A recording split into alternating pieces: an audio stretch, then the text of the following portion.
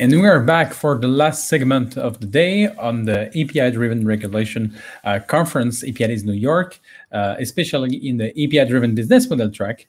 Uh, so for this last segment, we will start uh, by uh, by another industry that will uh, that will tell us their story. It's the automotive industry, and for that, we're really glad to have Ross Garrett joining us on stage. Hello, Ross. How are Hi, you? It's great to be back. Yeah, great to be back live for this time, but hopefully uh, in real in real life soon. Yep. Uh, yes, uh, you're an usual speaker of Days conference over the last few years, but now uh, you will tell us about building the world's the world's largest connected vehicle platform. Uh, yes, so are you able to share slides with us? That's perfect. Your full screen. The stage is yours for 20 minutes. Thank you, Ross. Excellent. Thank you so much. It's uh, it's great to it's great to be here. I, I'm not sure how many uh, API Days events I've spoken at, but it's it's been quite a few, uh, and so I'm, I'm glad to be back. Um, today, as as Mehdi said, I'm going to be talking a little bit about um, how we at Volkswagen are building a new connected vehicle platform. But you know, first of all, I really wanted us to have a think about um, the market. Uh, how can it be that you know, we have more smart, connected, intelligent, digital experiences in our kitchen uh, than we do in our in our vehicles, in our cars. Um, this uh, so-called Internet of Things, right, has made a profound impact for sure on lots of our areas of our life, um, and, and not just amongst early adopters either. Uh, in fact, I would say the early adopter wave um, was was quite some time ago, and now um, the you know smart devices, smart things uh, are, are, a key part of our, our lives today. Uh, in fact, you know, as I was thinking about this talk and doing a little bit of preparation, I look back to um, a previous presentation that I've given um, here at, at API Days, a previous event uh, in San Francisco that was actually focused on IoT way back in 2015. Um, and at that point in time, I was really talking about um, the um, the realities of, of, of connected things and where they really connected. They were, you know, we had so many of these so-called smart things, and in reality, um, they they had a mobile application, but they weren't necessarily um, connected in, in the way that we think about today. Um, and so you'd be forgiven for thinking that this uh, this image, this mobile application um, image here, uh, is is also from 2015. Um, but uh, the sad reality is it's not. This, in fact, uh, represents the, the pinnacle of connected vehicle experiences today, right? Where you can log in and maybe you know see how much gas or or, or uh, um, electricity is is in your car. The you can you know lock and unlock the doors, maybe set the air conditioning, maybe start the car. Um, but this is this is really as connected as it gets. Um, and uh, whilst it's quite easy to to poke fun at, at this uh, at this situation, um, you know, and certainly that's what I was doing uh, from the sidelines back in 2015. Now uh, I find myself inside the proverbial glass house, and and so um, I thought instead of throwing stones, I should tell you a little bit about um, some of the things we're doing here at Volkswagen um, to make this uh, um, this world of, of truly connected vehicles um, a reality. But first, um, I thought let's let's do a little bit of context setting. Um, first of all, about Volkswagen because I think there's there's some interesting stats here, and then also a little bit about um, the market and the opportunity in front of us. So first of all, you know, people think about Volkswagen. Uh, it's it's obviously a, a very well known global brand, but um, did you know that uh, we're actually the parent company for many of, of the world's most loved brands? So, of course, Volkswagen, VW, um, Audi, Seat, and Skoda for for folks in uh, uh, in Europe. Um, Bentley, Bugatti, Lamborghini um, for those uh, with more money than sense, I suppose. Um, Porsche, Ducati, and then some uh, um, commercial vehicles as well. We're, we're focused primarily on the passenger vehicles here at Volkswagen Automotive Cloud, but certainly this represents the overall portfolio. And we are, in fact, the, the world's largest auto manufacturer, um, producing uh, something like 11 million vehicles per year. That little asterisk um, isn't uh, to um, get into a conversation about market cap and our friends at Tesla, but in fact, it's to, to highlight that we actually jostle for the top spot uh, with Toyota. For some reason, North America is very um, fond of the Camry. And, and so uh, we compete every year in terms of um, who is the really the, the largest manufacturer. And we're, we're within, uh, you know, 100,000 vehicles of each other typically. Our team, um, all of Volkswagen, something like 670,000 people globally.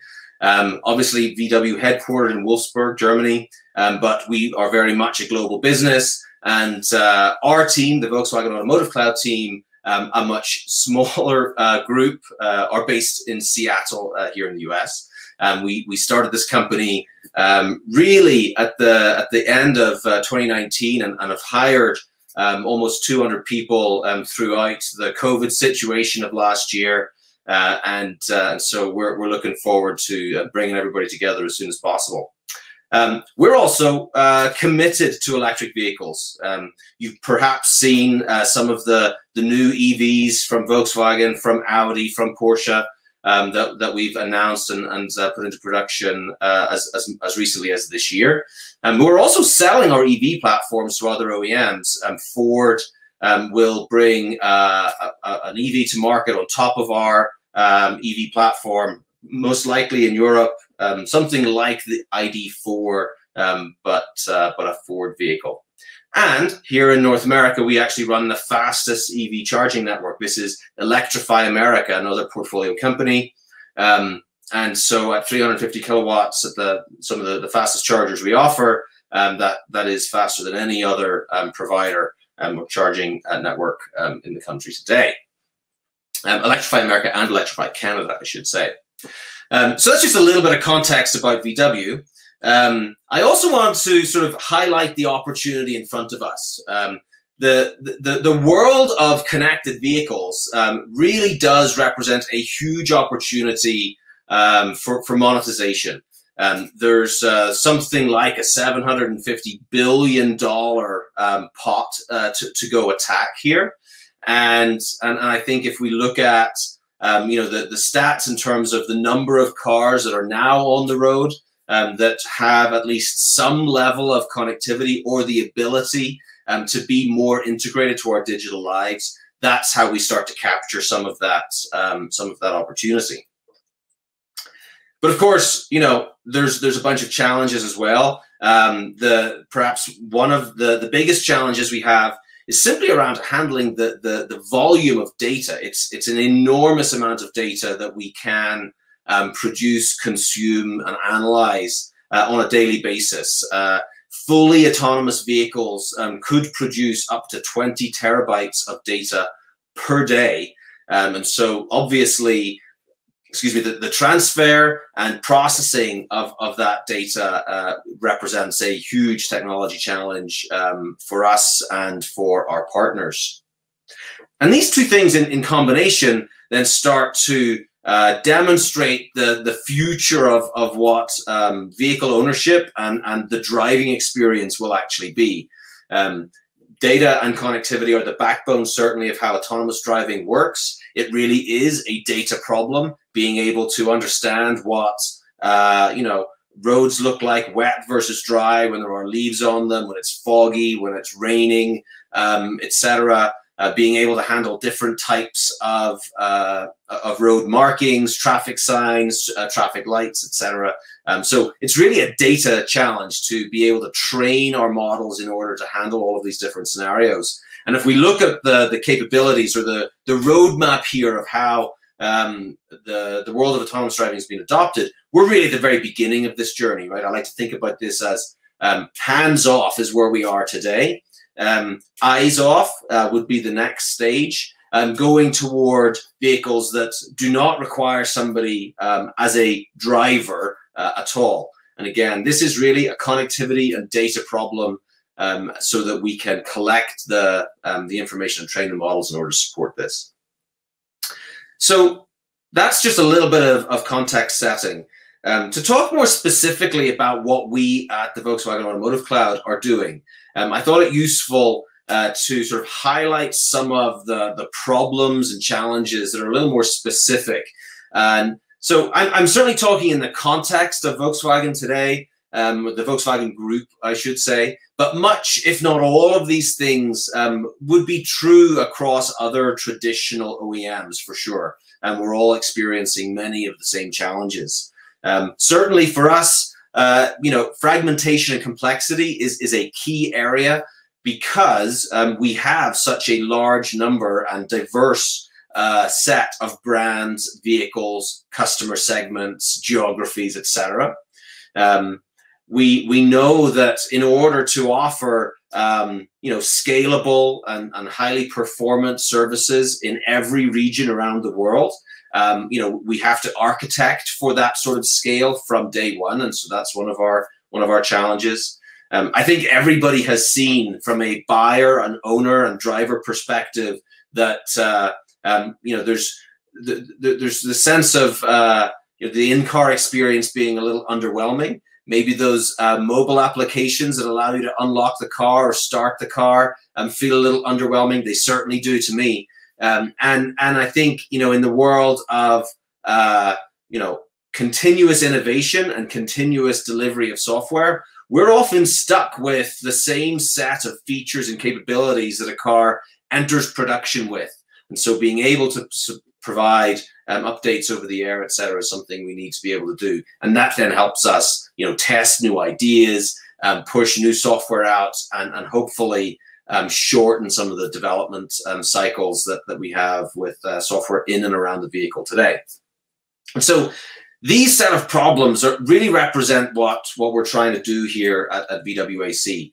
We're all about consistency and simplicity, right? We're trying to make it uh, to, to, deliver a, an API first approach to um, service development, service creation, app development, and app delivery around and within the vehicle. Um, so that will um, effectively reduce the cost and, and, duration of development, certainly, but it will also open up um, the, the world of, of vehicle connectivity to a whole new range of, of developers, audiences, partners, etc and, and I'm, I'm going to share some of that uh, with you in, in the next couple of slides. Um, really, you know, we see our job as providing the platform that enables new digital experiences. Um, and, you know, why, why are we taking this on? Why do we think um, we, Volkswagen, can, can actually make a difference here? Well, you know, we are the largest manufacturer. Um, we, we offer such a diverse set of products in so many regions uh, that uh, you know we, we can um, deliver market leading data insights and as i mentioned you know get us to those higher levels of, of autonomous driving um, hopefully more quickly and certainly um, with uh, with more reliability and, and, global reach.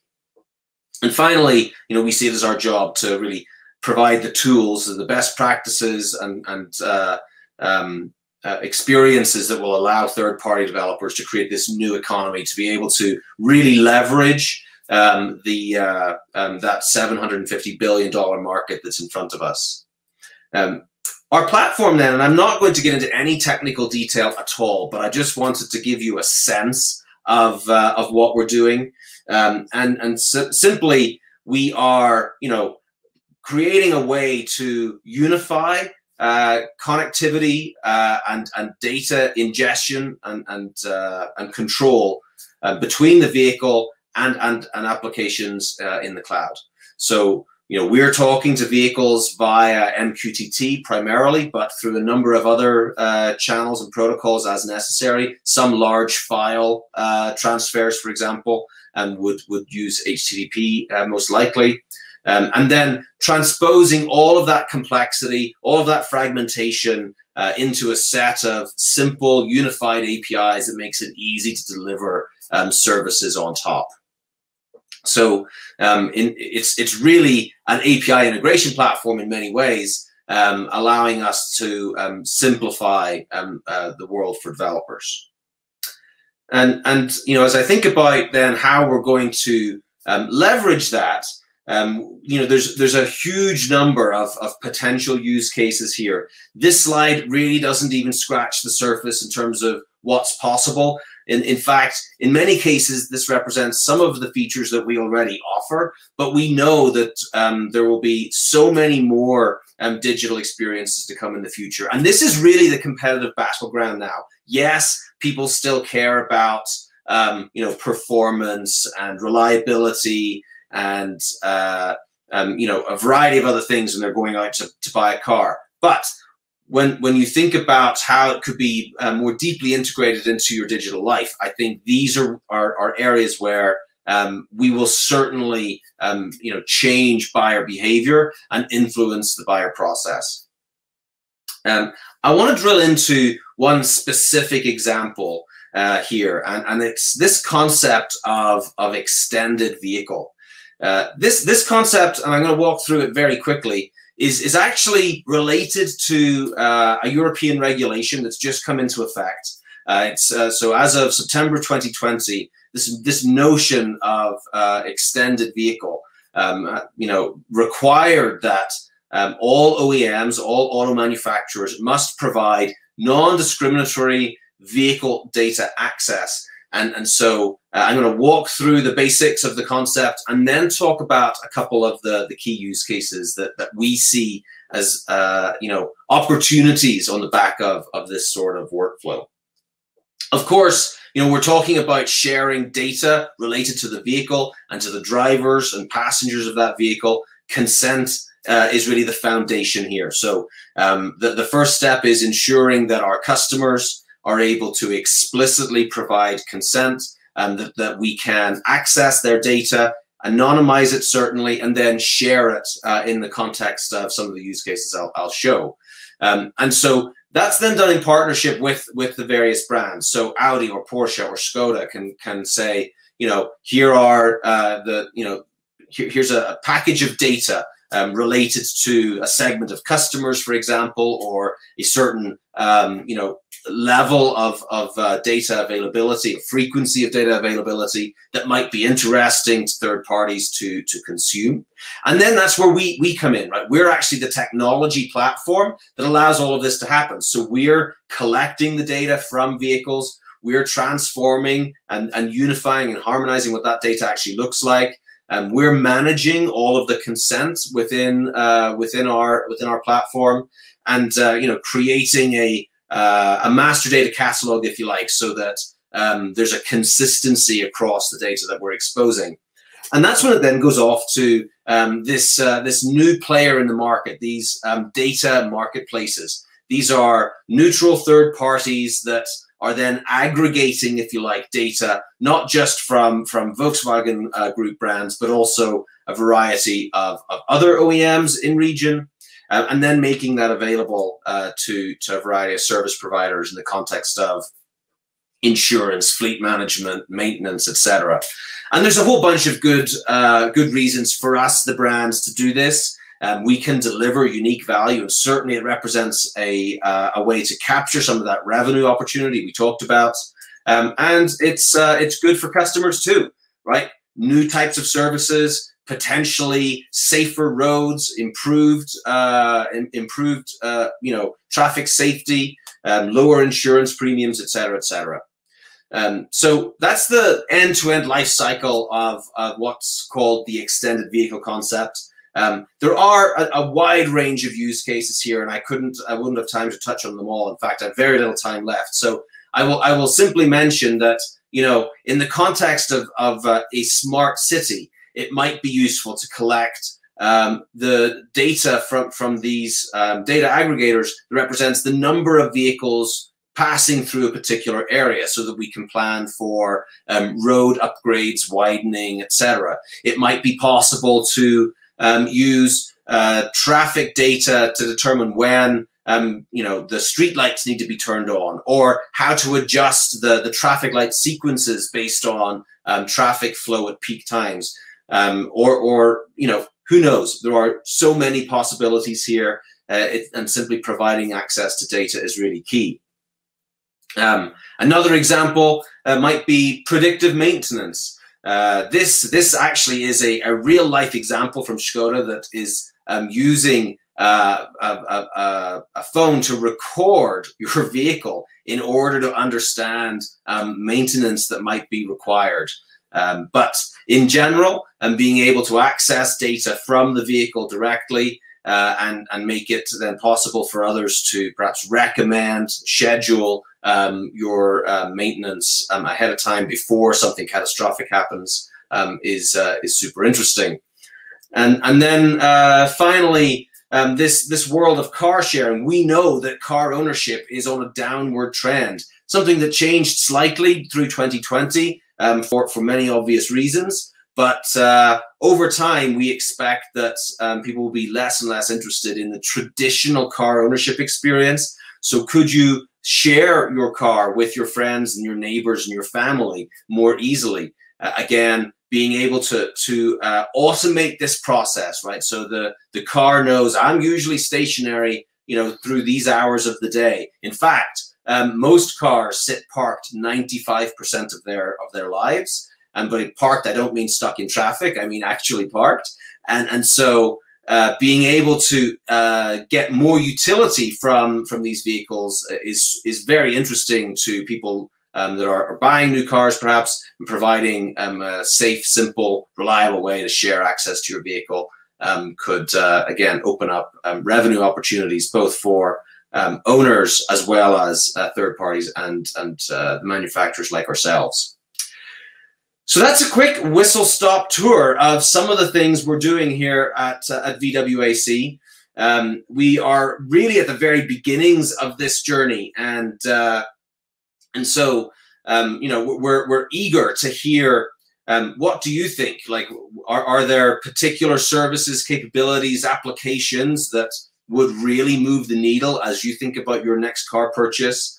Um, are there capabilities from the vehicle as an app developer that you think could be turned into a useful app or service? Um, we're eager to engage uh, with customers, with the market, in order to, to make the right decisions and build out the, the um, the, the right um, capabilities as we um, ultimately build the world's largest uh, connected vehicle platform that's it from me. I will take questions certainly, but thank you again for your time. Yeah, thank you very much, Ross. Uh, we have uh, three minutes uh, for uh, for question. Uh, what does that mean?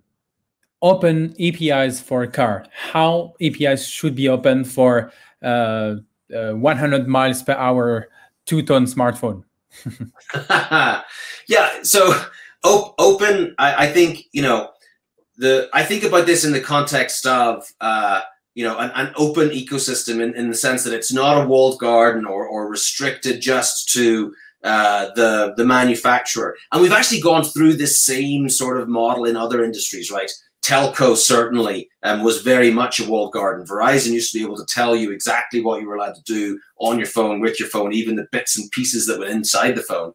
Um, and so we're kind of in that world, right, with automotive today. Uh, a little more openness uh, will allow us to innovate more quickly and, and, and deliver value to customers. And we've been seeing the same thing in the world of, of banking and the world of healthcare too. So that's really what I mean by by open. I certainly don't mean uncontrolled. And and and so what we what we do want is uh, a way to provide you know safe, secure, um, you know pr uh, private controls uh, that um, yeah that customers will trust. Uh, so we have a, a question from uh, LinkedIn. Mm. do you think one day we will be able to transfer our data from a car provider to another car provider? I, I think there's there's potential for that in the future. Certainly, in the context of this extended vehicle concept, the, there's a little bit of that happening, right? We're sort of aggregating data from lots of vehicles together. Um, I, think if if if we're talking in the context of uh, your identity, and uh, then yes, perhaps within within the Volkswagen Group, we're looking at ways to um, create seamless identity experiences across brands because you know you might own a Porsche and your daughter owns uh, an Audi.